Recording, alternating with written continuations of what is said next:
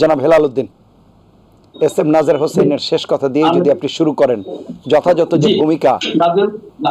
ভাই তো ভাই ভালো বলেন। ঠিক আছে এখন আমি একটু বলি দেখেন এইগুলো অনেক লম্বা ডিসকাশনের বিষয়। হঠাৎ করে এইগুলোর মধ্যে শেষ করা যাবে আপনি যে আপনি ব্যবসায়ীদেরকে দোষারোপ করবেন ঠিক আছে আমি একমত। আমরা তো বারবার বলেছি এইখানে আজিজ ভাই আছেন আমরা বারবার বলেছি বিকল্প বাজার ব্যবস্থা করেছিলাম দেখি ব্যবসায়ীরা কোন জায়গায় অন্যায় করে।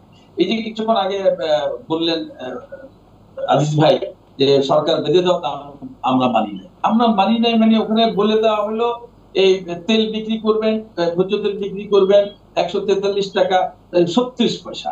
অমুক বিক্রি করবেন, একশো বিয়াল্লিশ টাকা, চল্লিশ পয়সা। আচ্ছা বলেন তো এখন পয়সা কোথাও খুঁজে পাওয়া যায়? এক টাকার নোট বাজারে আছে।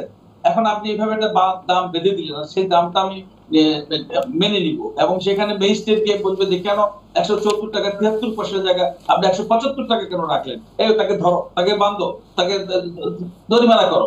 ভাইরে ব্যবসা না করলে বোঝা যাবে না ব্যবসার কষ্টটা কোন জায়গায়। আমরা তখন কি করব? আমাদের কি করার ছিল? আচ্ছা ঠিক আছে কাজ করি। এটার নাম হচ্ছে কৃষি বিপণন অধিদপ্তর। তাদেরকে বলেন না বিপণন করতে তাদের তো ওখানে বসে বসে ওই শুধু ওই কাগজে স্বাক্ষর করবেন আর দাম নির্ধারণ করবেন তো তাদের কাজ না।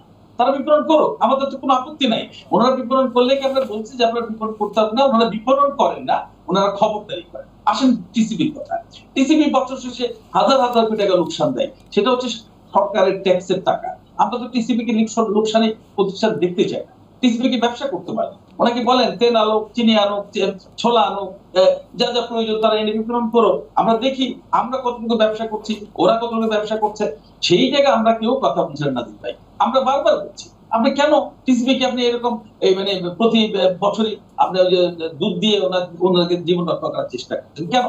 আপনি টিসিবির মাধ্যমে অত দশটা পণ্য আনেন না পারেন দুইটা পণ্য আনেন খেজুর আনেন আমরা দেখি, অথবা ছোলা আনেন আমরা দেখি যে ডিসিবির দাম কত আর ব্যবসায়ীর দামটা কত। হ্যাঁ ব্যবসায়ী ব্যবসা করবে। আমি বলি না যে ব্যবসায়ীরা সব ধোয়া তুলছি পাতা। আমি সুযোগ পাইলে ব্যবসা প্রতি মুনাফা করি। এই যে গত বছর আপনার বিদ্যুৎ ইয়ে যখন চার্জার ফ্যানের দাম বেড়ে গেল ভোক্তাতে যে মহোদয় আছেন, উনি অনেককে জরিমানা করেছেন, অনেকে পালিয়ে গেছেন দোকানপাট বন্ধ করে। ওদেরকে ডেকে নিয়ে এসেছি মহোদয়ের সঙ্গে বসিয়ে আবার এটাকে রিকনসিলেশন করার চেষ্টা করেছি। এবার দেখেন কি সমস্যা হচ্ছে। একটু খেয়াল করে শোনেন মদ্রিজ ভাই। আপনি এখন কাস্টমসে বলে দেওয়া হয়েছে, তুমি ওজন দিয়ে এখন তুমি মানে ইয়ে কি বলে আপনার? ট্যাক্স নির্ধারণ করবা। এখন ধরুন আমি সেই কূপ থেকে কূপ থেকে পৃথিবীর কোন কোন প্রান্ত থেকে আমি মাল কিনি, সেই মাল আমি লোড করে আমি কন্টেনারে নিয়ে আসি। ওখানে দশ কেজি, বিশ কেজি, পঞ্চাশ কেজি, একশো কেজি যদি ব্যাস কম হয়, দুইশো পার্সেন্ট আপনাকে জরিমানা দিতে হবে। এবং এই জরিমানার উপরে টোয়েন্টি ফাইভ পার্সেন্ট যিনি কাস্টমস ইন্সপেক্টর বা সুপারিনটেন্ডেন্ট বা কমিশনার উনি সেখান থেকে এই টোয়েন্টি ফাইভ পার্সেন্ট টাকা উনি সেখান থেকে নিয়ে দেবে এরকম অদ্ভুত দেশ। আর কোথায় পাবেন বলেন তো?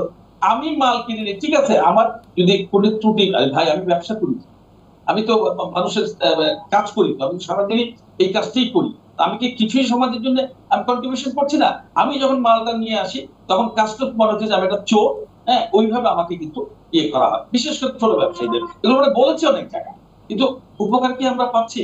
আপনি দেখেন আমরা কতগুলো অনেকবার বলেছি যে আমাকে চোদ্দ পার্সেন্ট আমাকে ইন্টারেস্ট দিতে হচ্ছে। ক্ষুদ্র ব্যবসায়ীদেরকে। সেখানে আবার বলা হচ্ছে বাংলাদেশ ব্যাংক বলে দিচ্ছে ওয়ান পার্সেন্ট টাকা অসংখ্য ধন্যবাদ। দিয়ে দেবে তার নিজের উপর জনাব হেলাল উদ্দিন, আমাদেরকে পঁচাত্তর কোটি টাকা যদি কারও ঋণ থাকে আপনার বিষয়গুলো একেবারে স্পষ্ট। কেটে দিয়ে যাচ্ছে। জি।